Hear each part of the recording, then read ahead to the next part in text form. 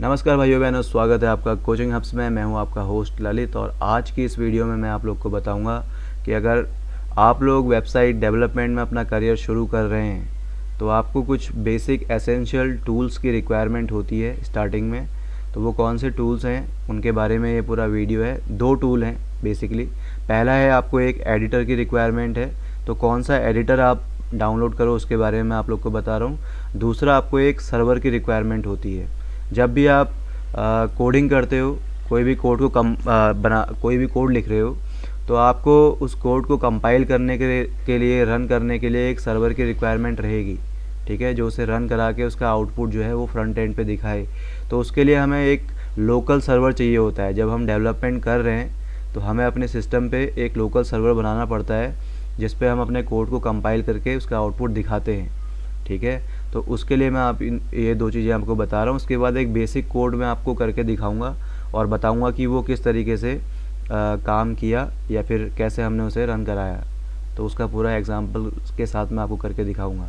तो सबसे पहला जो है वो है बेसिकली एडिटर तो एडिटर अगर मैं आपको बताऊँ तो सबसे बढ़िया जो मुझे लगता है वो है सबलाइम टेक्स्ट इसके अलावा भी मल्टीपल एडिटर मार्केट में है। मैं एज ए पी में काम करता हूँ।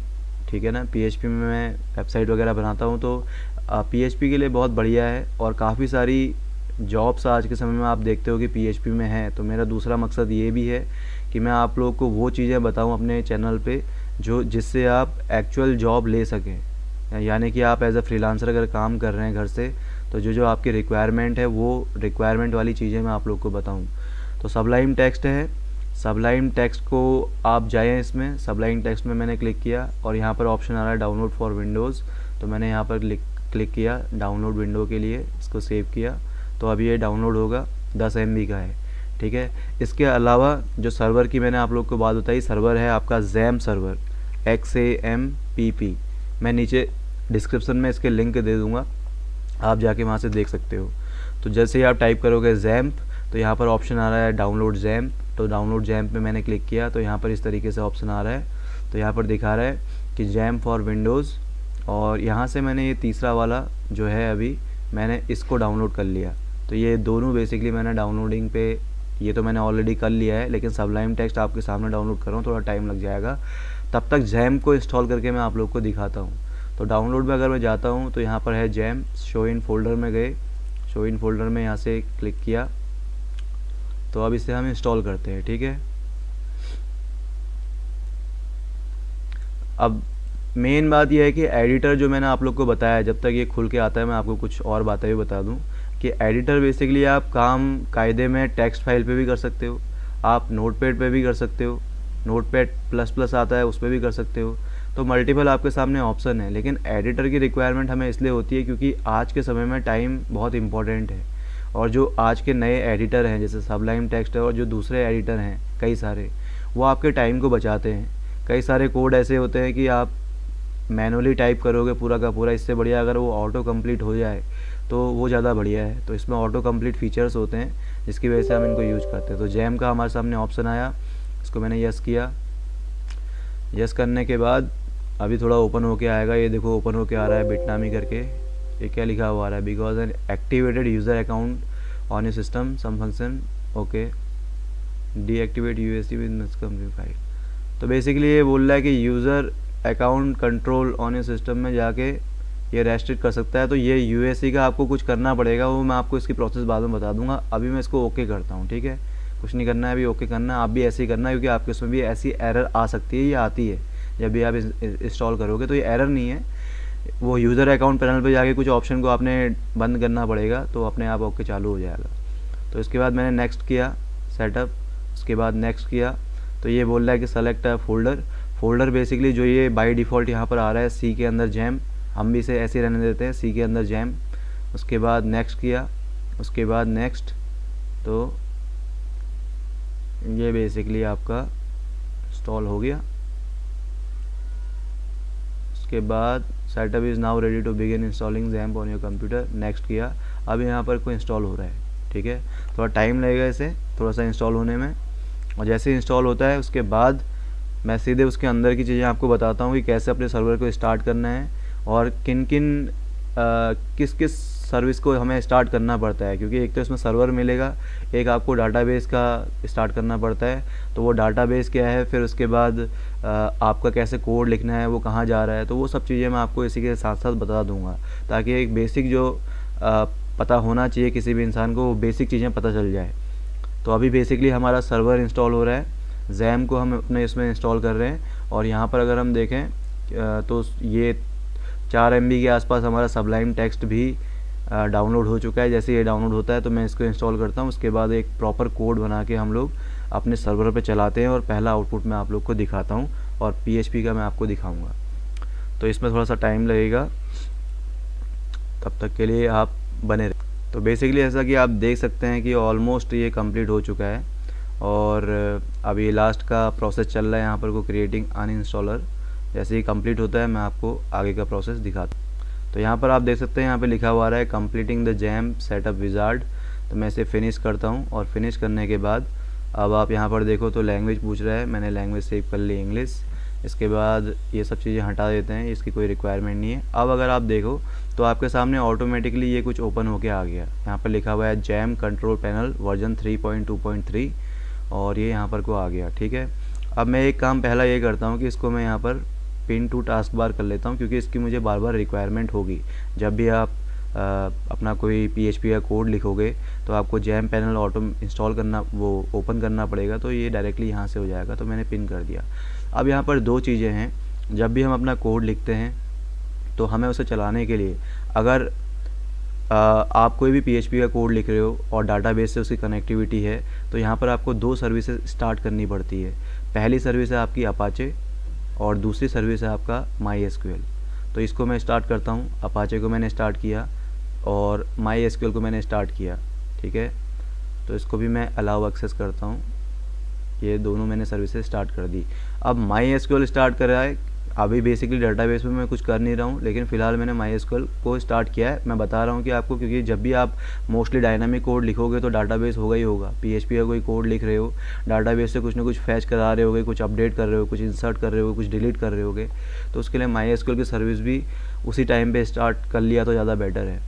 अब मैं क्या करता हूँ डाउनलोड सेक्शन इसको हटा देते हैं। इसको चेक करते हैं कि अभी लोकल होस्ट में आ क्या रहा है। सर्वर मेरा बन चुका है अपाचे सर्विस मैंने स्टार्ट स्टार्ट कर ली है। तो अब मैं यहाँ पर चेक करता हूँ लोकल होस्ट मैंने यहाँ पर डाला लोकल होस्ट तो अब देखो, यहाँ पर क्या आ रहा है? लोकल होस्ट डैशबोर्ड यानी कि ये मेरा प्रॉपर तरीके से कन्फिगर हो चुका है। ये मेरा सर्वर चालू हो चुका है। ठीक है?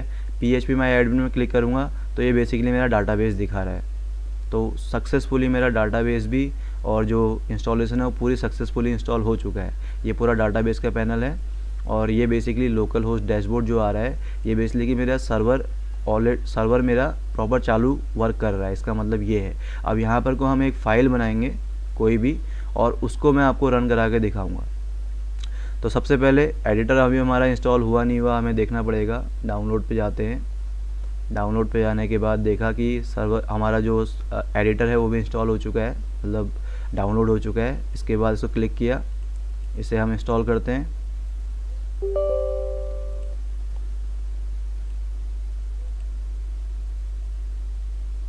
नेक्स्ट करते हैं इंस्टॉल किया और उसके बाद फिनिश किया, ठीक है? फिनिश करने के बाद अब हमारा सर्वर भी और हमारा एडिटर भी, दोनों के दोनों हमारे सक्सेसफुली हमारे इसमें इंस्टॉल हो चुके हैं। अब मैं यहाँ पर जाता हूँ सबलाइम टेक्स्ट थ्री को क्लिक करता हूँ। तो यहाँ पर को सबलाइम टेक्स्ट थ्री हमारा ओपन होके आ गया। इसकी भी मुझे बार बार रिक्वायरमेंट पड़ेगी तो मैं इसे पिन टू टास्क बार कर लेता हूँ। मेरे उस पर होना चाहिए। अब सबसे पहला काम हम ये करते हैं कि आपको मैं इसका फ़ाइल स्ट्रक्चर दिखाता हूँ, जिससे आपको आइडिया आएगा कि ये कहाँ पर को गया है, यानी कहाँ पर को आपने फ़ाइल बनानी है, ठीक है? सर्वर आपने इंस्टॉल किया, लेकिन सर्वर कहाँ पर इंस्टॉल हुआ है? सर्वर हुआ है आपका सी के अंदर जैम्प नाम का एक फ़ोल्डर है, और जैम के अंदर ये सारी फाइलें आपको दिखेंगी, ठीक है? अभी हम इन सारी फाइलों की बात नहीं करेंगे।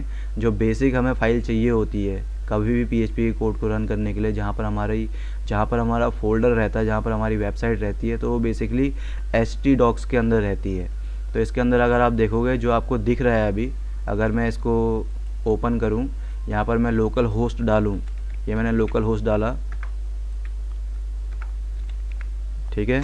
तो लोकल होस्ट डालने के बाद जो ये डैशबोर्ड आ रहा है ना डैशबोर्ड ये डैशबोर्ड आ रहा है आपका ये वाला, जो यहाँ पर कोई एक फोल्डर रिसाइड है डैशबोर्ड का। अब डैशबोर्ड के अंदर इतनी सारी चीज़ें हैं। अब अगर मैं एक काम करता हूँ इसको क्लिक किया मैंने ओपन विद मैंने यहाँ पर को आ, इसको मैं करता हूँ more app Sublime text नहीं आ रहा चलो कोई नहीं। इसको मैं ऐसे ही ओपन कर लेता हूँ ओपन या फिर इसको नीचे डाल देता हूँ यहाँ पर। ठीक है। ये किया। अभी देखो एक आपको समझ में आएगा कि ये सर्वर देखो यहाँ पर वेलकम टू जैम्प ये आ रहा है ना, यहाँ पर को मैं लिखता हूँ वेलकम टू कोचिंग हब्स मैं आपको दिखा रहा हूँ कि किस तरीके से काम कर रहा है। तो यहाँ पर मैं गया, अभी यहाँ पर क्या आ रहा है वेलकम टू ये। मैं इसको रिफ़्रेश करूँगा तो यहाँ पर क्या आ गया वेलकम टू कोचिंग हब्स कहने का मतलब क्या है कि बेसिकली ये जो डैशबोर्ड है, ये अभी एक एज अ वेबसाइट की तरह प्रॉपर काम कर रहा है। ठीक है ना? ये डैशबोर्ड नाम की एक वेबसाइट है कायदे में, जो ये पेज आपके सामने ओपन होके आ रहा है। ये पूरी कायदे में एक वेबसाइट है। तो अब हम क्या करते हैं अपना एक वेबसाइट क्रिएट करते हैं, अपना समझ लो कि एक फ़ोल्डर बनाते हैं। तो उसके लिए हम क्या करते हैं, इसी फोल्डर के अंदर जाएँगे, क्योंकि जितनी भी फाइलें आप बनाओगे, वो सारी एच डॉक्स के अंदर ही रहेंगी। तो अब मान लिया आप किसी नए प्रोजेक्ट पे काम कर रहे हो, या फिर कुछ भी आप टेस्ट करना चाहते हो तो मैं यहाँ पर कोई एक नया फोल्डर क्रिएट करता हूँ, उसका नाम रखता हूँ कोचिंग हब्स इसको सिंपल लगते हैं कोचिंग हब, ठीक है?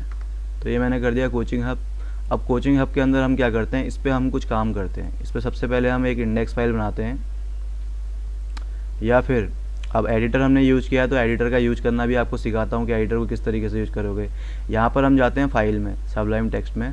यहाँ से मैंने किया ओपन फोल्डर ओपन फोल्डर में दिस पीसी दिस पीसी के अंदर सी के अंदर जैम जैम पे हम जाते हैं एच में। और एच डी डॉक्स में कोचिंग हब्स को उठा लेता हूँ, ऐसे, ठीक है? इसको काट दिया। तो अब मैंने क्या किया बेसिकली सबलाइम टेक्स्ट से पूरा का पूरा फोल्डर उठा लिया सबलाइम टेक्स्ट के अंदर। अब इसके अंदर अगर सौ फाइलें होती तो वो सौ फाइलें यहाँ पर खुल के मुझे दिख रही होती। अगर नहीं है तो मैं अब इसके अंदर एक नई फ़ाइल क्रिएट करता हूँ। इसका नाम रखता हूँ index dot P H P ठीक है? इसको मैंने सेव किया। तो यहाँ पर मैं करता हूँ index dot P H P इसको सेव कर लिया। अब इसके अंदर हम एक कोड लिखते हैं। ठीक है? बेसिक सा कोड लिखा हमने, लिखा पी और PHP के बाद इसको बंद करके इसके बीच में लिखा हमने सिंपल एक हम इको कराते हैं इको और इको कराते हैं हमारा my name is Lalit and welcome to coaching hub कुछ गलत हो गया है शायद बीच में। वेलकम टियाऊ टियाऊ हो गया है। चलो कोई नहीं। तो इसको मैंने सेव कर लिया। तो अब बेसिकली प्रॉपर कैसे हम काम किया, हमने एक पीएचपी का कोड बनाया है पी फ़ाइल बनाई है, उसका सिंपली आउटपुट करा रहे हैं। तो अब इसको हमने देखना है। तो देखने के लिए हम क्या करेंगे लोकल होस्ट जो है बेसिकली हमारा सर्वर पाथ है, जो बेस पाथ है, वो लोकल होस्ट है। इसके आगे, इसके अंदर किस नाम से हमारी फोल्डर है? C O A C H I N G coaching hub इस नाम से हमने एक वेबसाइट बनाई है अपनी। तो इसको मैंने क्लिक किया। अब यहाँ पर आ रहा है my name is Lalit and welcome to coaching hub तो यहाँ पर आपको दो चीज़ें समझ में आई। ये बहुत बेसिक है, बहुत स्टार्टिंग का है कि आपको सर्वर की रिक्वायरमेंट होती है, आपको एक एडिटर चाहिए होता है। अब एडिटर का फ़ायदा यही है कि जब भी आप कोई कोड लिखोगे और कोड लिखोगे तो ईज़िली हो जाता है। जैसे अगर मान लिया मैं कोड लिख रहा हूँ या कोई एस का सिंटेक्स लिखा तो ऑटोमेटिकली देखो यहाँ पर एस लिखा हुआ आ रहा है। क्लिक करूँगा तो ये इतना बड़ा लिखा हुआ आ गया। समझ रहे हो? तो मुझे कोई ऐसा नहीं है हार्ड कोडेड कि मैं single one by one line करके लिख रहा हूँ, जैसा हम आज तक नोट पैड पर लिखते थे। तो उसके लिए हमें एडिटर की रिक्वायरमेंट है, ताकि ये सब चीज़ें बनी बनाई आ जाए। मैंने यहाँ पर कुछ भी नहीं किया। मैंने यहाँ पर सिंपल एस टी एम ये टाइप किया, नीचे एस टी एम लिखा हुआ था, मैंने क्लिक किया तो इतना पूरा लिखा हुआ आ गया। अब टाइटल में मेरा टाइटल आ जाएगा, और वैसे ही अगर मैं यहाँ पर को कोई डिव लगा रहा हूँ, कोई डिव सेक्शन का यूज़ कर रहा हूँ तो मैंने यहाँ पर लिखा डिव तो डिव में क्लिक किया ऑटोमेटिकली डिव क्लोज भी हो गया। इस तरीके से हमें एडिटर की रिक्वायरमेंट होती है और सर्वर की रिक्वायरमेंट है हमारे पीएचपी कोड को रन कराने के लिए। जब आप नॉर्मल एच लिखोगे तो आपको सर्वर की रिक्वायरमेंट नहीं रहती। एच क्योंकि क्लाइंट साइड का, पूरा क्लाइंट साइड पे काम होता है, ठीक है ना? तो वो H T M L C S S JavaScript इनके लिए हमें सर्वर की रिक्वायरमेंट नहीं है। सर्वर की रिक्वायरमेंट होती है हमें PHP के लिए। अगर PHP की मैं बात करूँ तो PHP के लिए आपको सर्वर की रिक्वायरमेंट है और जितनी भी प्रोग्रामिंग लैंग्वेज हैं जहाँ पर को हम कुछ डाटाबेस से डाटाबेस को रिक्वेस्ट भेजते हैं जहाँ पर हमें डाटाबेस की रिक्वायरमेंट होती है तो वहाँ एक सर्वर की रिक्वायरमेंट होती है जो कि उस क्वेरीज को प्रोसेस करे आपके। तो इसके लिए ये पूरा ट्यूटोरियल मैंने आपके लिए बनाया जिसमें मैंने आपको सर्वर और आ, इसके बारे में बताया। अच्छा लगा होगा तो लाइक करना नहीं लगा तो डिसलाइक कर लेना कोई दिक्कत नहीं है। इसके बाद क्योंकि अब मैं इसकी एक सीरीज़ बना रहा हूँ जिसमें मैं आपको आ, कुछ जो बेसिक टास्क हमारे पास आते हैं फ्रीलांसर के अंदर तो वो टास्क कैसे करने होते हैं? जैसे वर्ड के टास्क आते हैं कोई थीम आपको कस्टमाइज करनी है या फिर एक बेसिक थीम आपको बनानी है फ़ोटोशॉप टू वर्ड आपने कन्वर्जन करना है कन्वर्ट करनी है कोई थीम तो उस तरीके से बहुत सारे टास्क आते हैं। तो बेसिकली मैं इन चीज़ों के बारे में आपको बताऊँगा और जो वेबसाइट के रिगार्डिंग कुछ बातें हो सकती है तो वो आपको बताऊँगा जो आपके काम आ सके। तो ये था इस वीडियो में। Thank you so much guys for watching this video आपसे फिर मुलाकात होगी, तब तक के लिए खुश रहो, आबाद रहो, इधर रहो या किधर भी रहो।